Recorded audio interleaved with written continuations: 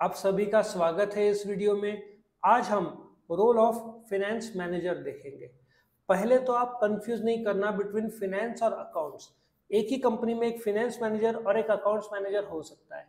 Finance बड़ा concept है accounts छोटा कंसेप्ट है अकाउंट्स वाला रिपोर्ट करता है फाइनेंस मैनेजर को।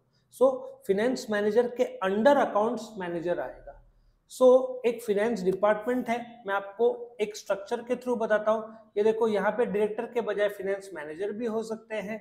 सो फिनेंस मैनेजर ठीक है का रोल क्या है? वो फिनेंस डिपार्टमेंट को हेड करता है जिसको हम फंक्शनल एरिया बोलेंगे। जैसे प्रोडक्शन परचेज ये सब फंक्शनल एरिया है। वैसे फिनेंस एक फंक्शनल एरिया है। उसका हेड कौन है? फिनेंस मैनेजर अकाउंट्स क्या होगा? उसके अंडर आएगा।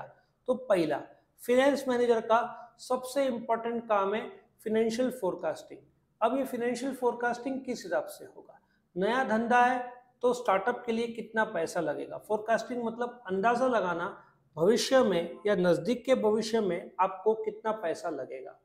या कंपनी चल रही है तो अगले महीने कितना पैसा लगेगा और कहाँ से आएगा? कम आएगा? तो लोन का बंदोबस्त करना है कि नहीं? दूसरा planning and preparation of financial reports now जब बोर्ड ऑफ़ डायरेक्टर्स की मीटिंग होती है साल में चार बार होनी चाहिए। तो बोर्ड ऑफ़ डायरेक्टर्स क्या बोलेंगे कि हमको जैसे रिलायंस ने मेट्रो को खरीदा साढ़े चार हज़ार करोड़ में तो जब directors of Reliance Industries Limited Mukesh Ambani और जो ग्रुप है डू यू एग्री वो लोग फिनेंस मैनेजर को बोलेंगे एक रिपोर्ट दे कि कितना कैश अपने पास है ठीक है? आ, क्या क्या लाइबिलिटीज़ है क्या क्या एसेट्स है क्या हम दूसरे कंपनी को खरीद सकते हैं कि नहीं? सो फिनेंशियल रिपोर्ट्स में दिन का कितना बिका है या कितना कैश इन हैंड है, कितना लाइबिलिटी है, कितना एसेट्स है, ठीक है, कितना स्टॉक है, कितने ऑर्डर्स है, ये सब रिपोर्ट्स मांगा जा सकता है। Balance sheet profit and loss account fund flow कि ये साल कहाँ से पैसा आया, कहाँ पे गया, ये सब फिनेंस मैनेजर को तैयार करना पड़ता है। ऑफकोर्स उसके पास एम्प्लॉय होंगे, लेकिन ये फिनेंस मैनेजर सबमिट करेगा मैनेजमेंट को दैट इज़ डायरेक्टर्स को। रेजिंग ऑफ़ फंड्स अभी आपको स्टार्टअप के लिए दस लाख चाहिए। कंपनी के पास छः लाख मौजूद है। तो छः लाख क्या हो गया? ओन्ड कैपिटल हो गया या शेयर कैपिटल हो गया? बचा कितना? चार लाख। ये चार लाख को बोरोड कैपिटल बोलेंगे। अब ओन्ड कैपिटल जो शेयर कैपिटल है, वो बनेगा इक्विटी शेयर प्रेफरेंस शेयर इससे। बोरोड कैपिटल में कंपनी को डिसाइड करना है। Debenture bonds term loans public deposits किस प्रकार से लोन को रेज करना है? तो raising of funds financial forecasting के बाद इसलिए आया कि 10 लाख आपका फोरकास्टिंग है, फिर खुद का 6 लाख है ओन्ड कैपिटल 4 लाख बोरोड है, ये सोर्स है, कहाँ से पैसा आया? फिर वो पैसा आपके पास 10 लाख आया तो वो कहाँ पे लगाएँगे?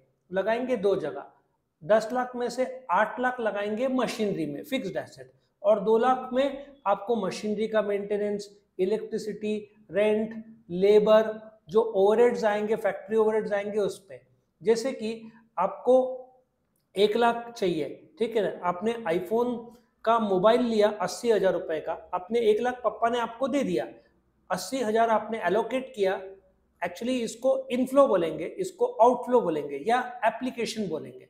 तो आपने अस्सी हज़ार का आईफोन लिया उसमें चार पाँच हज़ार का चार्जर ले लिया फिर उसका रिचार्ज और फ्रेंड्स को तो पार्टी देना पड़ेगा। सो so, जब पैसा आता है दैट इज़ कॉल्ड सोर्स जब वो उसका इस्तेमाल जहाँ करते हैं उसको बोलते हैं एप्लीकेशन जहाँ से आता है वो दो प्रकार है जो कि आपका यहाँ पे ओन्ड और बोरोड खुद का और कर्जा लिया है। जैसे कार लेनी है आपको दस लाख की छह लाख खुद का चार लाख का कर्जा ये आपने बंदोबस्त कर लिया दैट इज़ रेजिंग अब वो पैसा आपने लगाया कार में, दस लाख में से नौ लाख की कार और फिर आपको पेट्रोल और ड्राइवर और मेंटेनेंस एक्सेसरी लगेगा ना तो वो हुआ आपका allocation of fund so main finance manager का काम है इनफ्लो और आउटफ्लो ऑफ़ फंड्स जो आ रहा है, पैसा जो जा रहा है, इसका मैनेज करना। इस मैनेजमेंट को फिनेंशियल मैनेजमेंट बोलते हैं। मैनेज कौन करता है? फिनेंस मैनेजर वो उसका रोल है। इसके अलावा उसको रिपोर्ट्स भी तो बनाना पड़ता है, जो आप डायरेक्टर्स को देंगे।